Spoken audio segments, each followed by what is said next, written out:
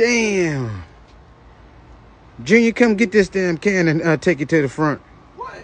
Take this can to the front.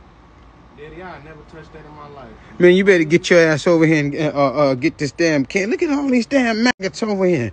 That's because you keep on putting the leftovers in there. No, that's because your ass don't put the don't don't close that can all the way, and them flies get in there and lay all them damn eggs. Yeah, Leftovers in there. yeah, you you yeah you finna uh uh uh move this motherfucker to the front of this house. God damn. Oh my God. Get this damn can and take it to the front, Junior. Don't you see on it? They falling off of it. Daddy, they on on the floor now. What's Get this damn can and get all this damn cardboard and get it to the front of this house. Man, Damn. Get the can. I'm going in the house. God damn.